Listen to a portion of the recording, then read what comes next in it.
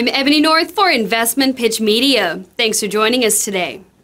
Avrupa Minerals reported assay results from its Sesmarias massive sulfide target area at its Alvalade JV project in Portugal.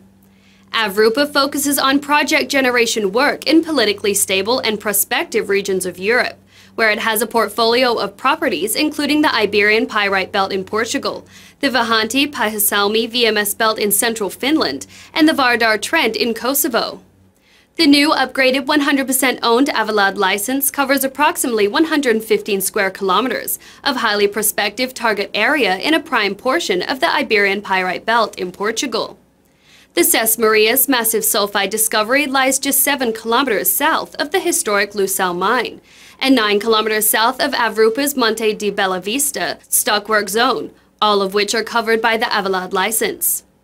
Today's result is from hole SES 23047, which returned 26.95 meters of 2.18% copper, 2.28% lead, 5.60% zinc, and 88.2 grams per ton silver, from 393.8 to 420.75 meters depth within a wider interval of 43.4 meters of 1.51% copper, 2.15% lead, 4.78% zinc, and 64.1 grams per ton silver from 392.8 to 436.2 meters depth.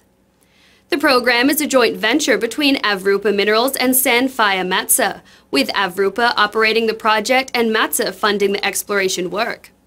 Previously, through the joint venture, during 2020 to 2021, the company drilled 17 diamond drill holes, totaling 8,900 meters, on six different fences along a strike length of 400 meters in the Sesmarias North Zone.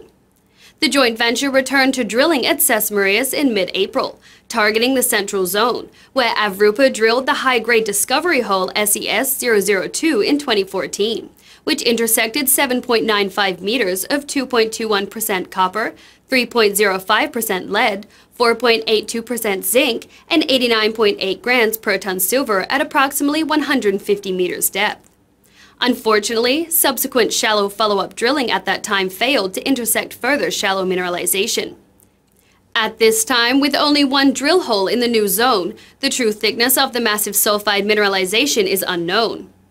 The drill hole intercepted at least part of the eastern limb of the target mineralized syncline, and possibly part of the hinge of the syncline. Further drilling is clearly necessary to search for both extension and shape of the mineral body. Potential for further higher grade mineralization lies from the present 650S section to the 350S section, north of the present drilling, and possibly for another 300 to 400 meters to the south of the 650S section. The company is currently drilling a follow-up hole at SES 23048, collared approximately 150 meters southeast of SES 23047 on the 800S section, with five more holes planned, also funded by the joint venture partner. Note that the central zone appears to be open and untested for at least 300 meters in either direction from the 650S section. Paul W. Kuhn, President and CEO, stated, we are truly excited about the SES 23047 results. The entire team effort putting together a coherent targeting model led to this initial success in the Sesmaria Central Zone, which we hope will continue with follow-up drilling.